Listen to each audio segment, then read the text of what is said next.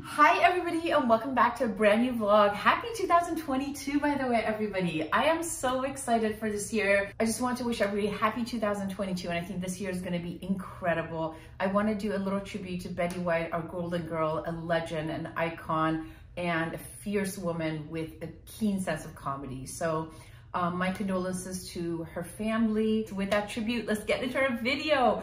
Um, who is loving 2022? By the way, you guys, um, while I'm doing this, I'm starving and I ordered a salad, but I'm gonna do a PR salad, a Persian cucumber salad, as my other salad comes, because this woman has been working out so much. I am hungry 24 seven, right Nick?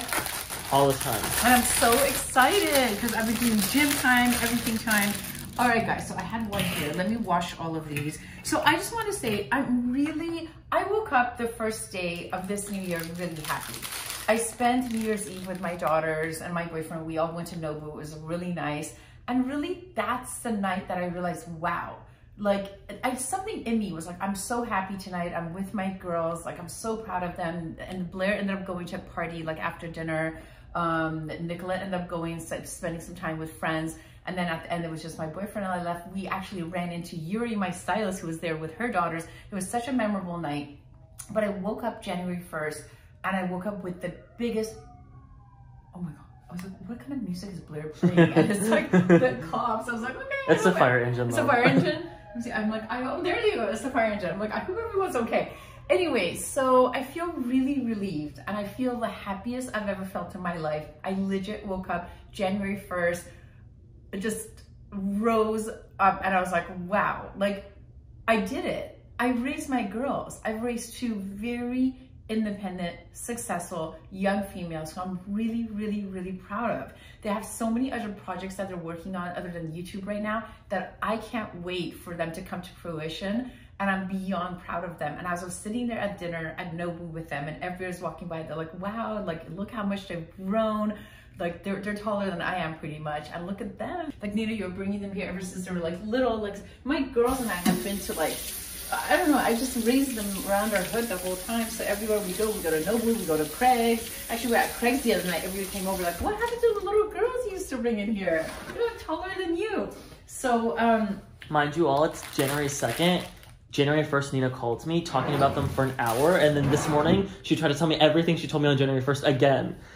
and I've never just seen you like so like proud. Yeah. Well, it's it's it's been a moment because you know, as you guys, well, I've always you have to tell them what you told me. What did I tell you about um, the whole credit card situation and Blair leaving after dinner was done? Because oh I was a proud.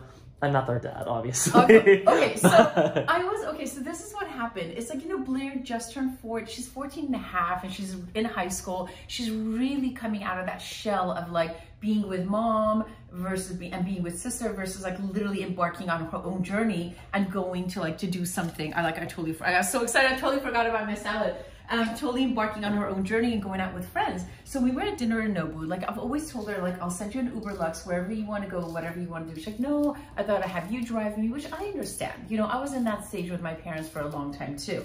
However, all of a sudden we're at Nobu. She ordered her food early because she was starving. She had dessert while we were doing our main meal. Because everyone knows her boyfriend takes forever to order food. So yes, she, she takes forever to order food. Wait. He likes his martini first and he orders like 50 million rounds of foods. And Blair's like, I gotta get to the point, I gotta eat, which to each their own, I'm really happy for that. And then Nicholas joined us a little bit later. So she's on dessert. All of a sudden she's like, mommy, I gotta go.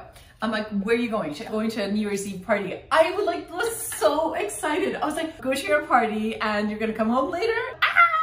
And by the way, you guys, for safety reasons, my boyfriend has private drivers who he sends out. So, so we got one of our private drivers to come and pick her up. I walked her out to this black SUV. She got in. She, I love you, mommy. Happy New Year's Eve. I was like, Happy New Year's Eve. And she went to her party. But you didn't tell her the full story. Oh, no, I'm going to tell the full story. Okay, you So have what to. was so exciting, because Nicolette's there, and I was like, you have your key and your gate opener. She's like, no, I brought the gate opener. No, I brought two gate openers, because I knew she was going to deviate for the night. I thought she was going to be with her sister. I didn't realize this and I she didn't bring her keys. I said, and then that's when Nicolette starts yelling at her, you have to be prepared to do anything at any time. You need your keys, you need your gate opener, you need credit cards, you need cash.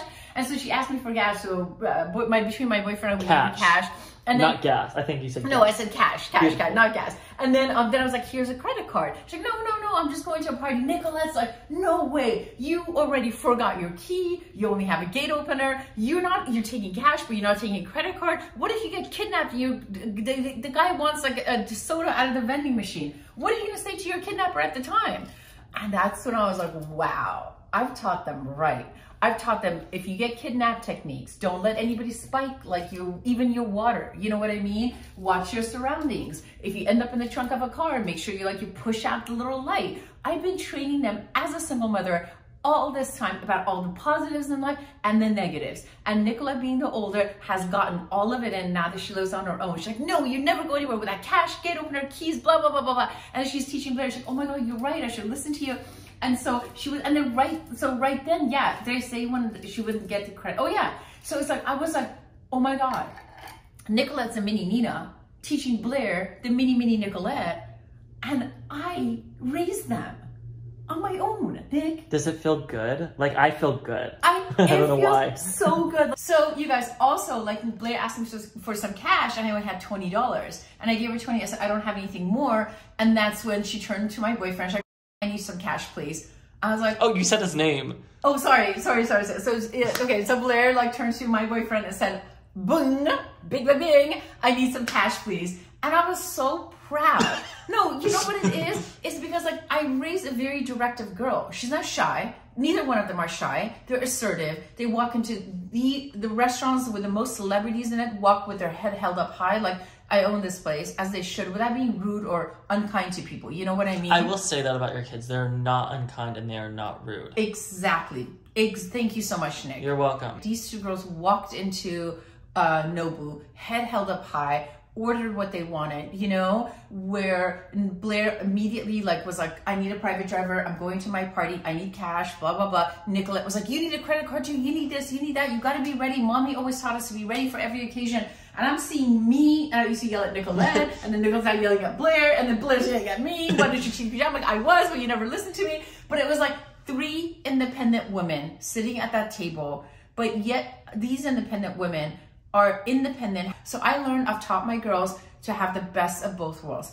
A, be independent, assertive, be your own woman. But B, if a gentleman wants to take care of you, let him. Let them be kind. Let them take care of you. Let them do this. You see? So I really realized that they have both. They I've instilled in them how to have the best of both worlds. You see? You're so happy. And I'm for that. this is like I'm the so ha- happy. like the last few months is like the happiest you've been. ever been. But also, what what Especially occurred? me.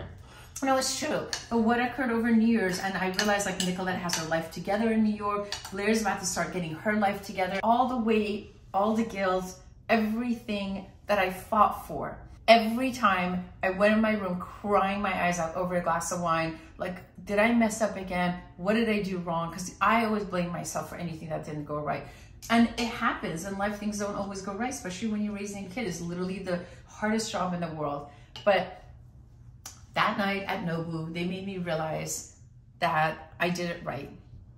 I did it. I raised them. I am a, I was a good mother. I am a good mother, and I'm going to be the best mother going forward.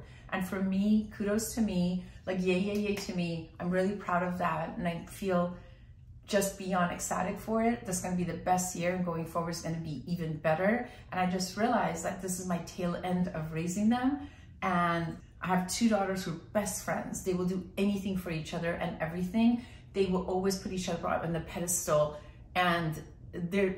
I could not be happier to have my daughters best friends, and that I also have to say I did it when they were fighting when they were younger, very young. I gave them an ultimatum like this is it. It's a family of three, nobody else.